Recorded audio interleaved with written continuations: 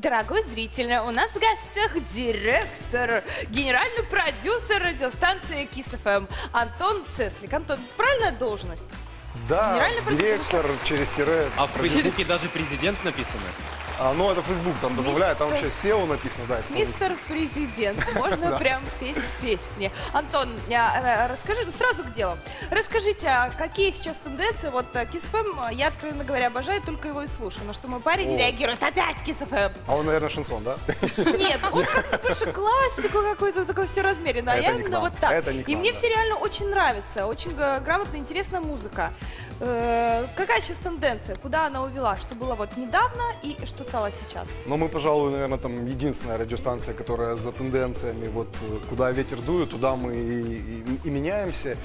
А, Как ни странно, музыка в последнее время становится все более взрослой и взрослая танцевальная музыка. И м, те люди, которым э, раньше было там по 20 лет, с которыми мы начинали, да, они выросли, им уже вот радиостанции FM 12 лет, им уже там по 30-35 лет, их вкусы поменялись, и мне, то, что мне очень приятно, они больше слушают такой дип музыки, ну, скажем так, есть горизонтальные танцы, вертикальные танцы, это вот больше такие вертикальные А танцы. горизонтальная такая? Ой, в смысле, го- горизонтальные. Это, это музыка, под которую можно сесть и послушать ее. А, но она при этом танцевальная. Или да. лежа вдвоем? Да, или лежа, да, но она при этом танцевальная. Антон, ну вот вы говорите, меняется, все меняется, возраст. Что сейчас модно?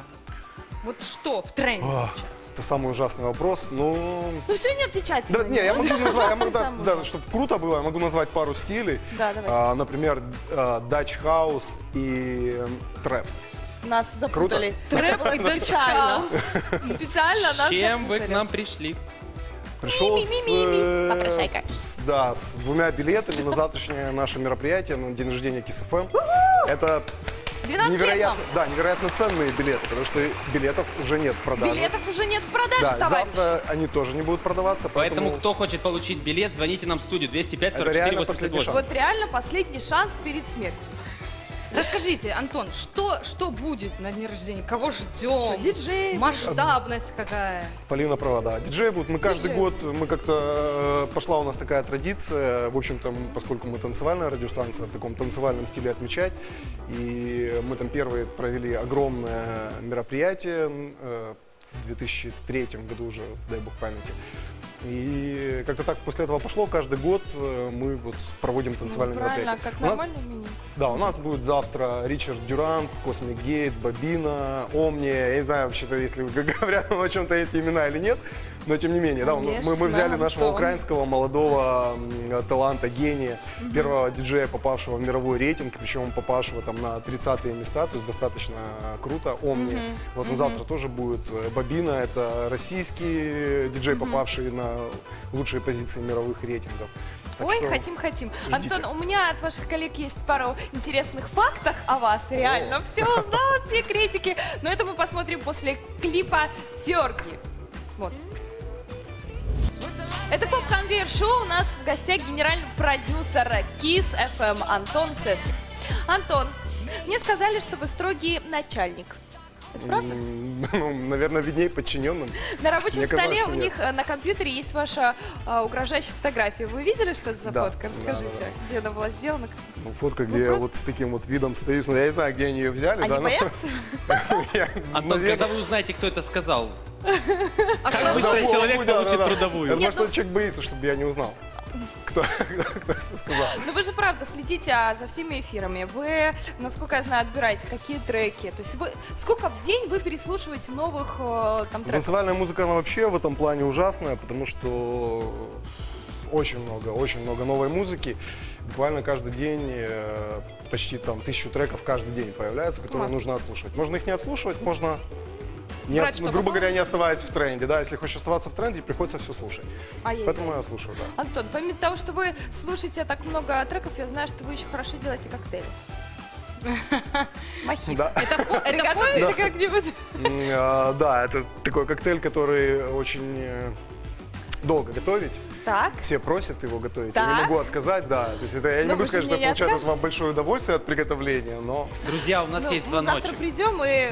Попробуем. продегустирую. Да, да. Алло, Добрый вечер. Здравствуйте. Как вас зовут? Виталий. А вы откуда нам звоните? Киева, конечно же. Прекрасно. У вас есть какой-то вопрос к нашему Антону Цеслику, который подарит вам билетики на мероприятие Kiss FM. День рождения 12 лет.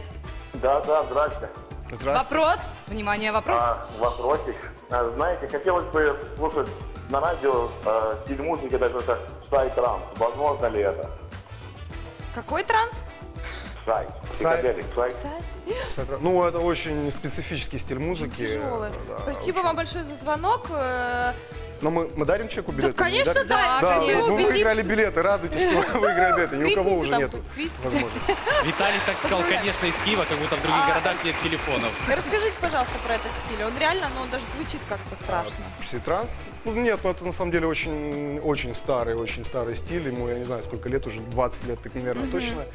И э, это люди такие, знаете, вот гоа-транс, входящие в транс под эту музыку. Ну, в общем, отдельный свой мир. Мгм. Вы пригласили на день рождения исполнителя трека нашумевшей песни Pray for Ukraine. Да, да.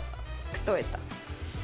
Э, Завтра все узнаем. Завтра все узнаем. Да, там на самом деле очень интересная история, потому что этот трек появился в, э, в начале года, когда все события происходили у нас, и он появился вместе с видео, таким достаточно интересным видео с событиями с Майдана.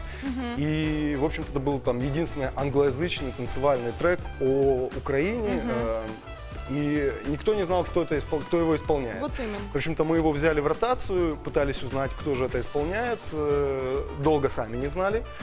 Э, В какой-то момент э, в соцсети начали говорить о том, что это Армин Ван Бюрен. Ну и Да, да, дальше да, уже помню пошла, это. пошла, Да. пошла эта история. Да. Слухи, ага. Э, Не Армин Ван Бюрен, скажу, все Да. гораздо ближе. Все гораздо ближе. Наш человек. Вполне возможно, да. Вполне возможно. Но я не хочу открывать все тайны. Ой, да вы смотрите. О мне? Какой? М, Нет, нет, нет, не он. Погодите, может это Дан Балан? Не, люди начали нас уже обвинять в том, что мы обманываем. А, Завтра Армин Ван Бюрен выступает в Турции. Как же так э, исполнитель трека будет на дне А, рождения, он же в. Турции. Это не Армин Ну, а, ребят, в общем, не судите заранее, пока смотрите Дана Балана, а мы тут постараемся выудить инфу.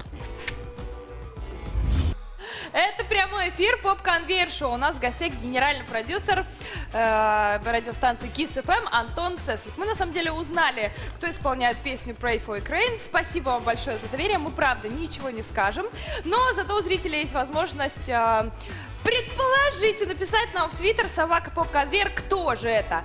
Если кто-то угадает, мы реально втихаря дадим вам еще один проходной билет на завтрашний день рождения 12-летия а, радиостанции Kiss FM. Антон, расскажите, как много диджеев к вам приходят, с каким материалом, а, насколько талантливы вот э, в направлении радиостанции наши отечественные диджеи?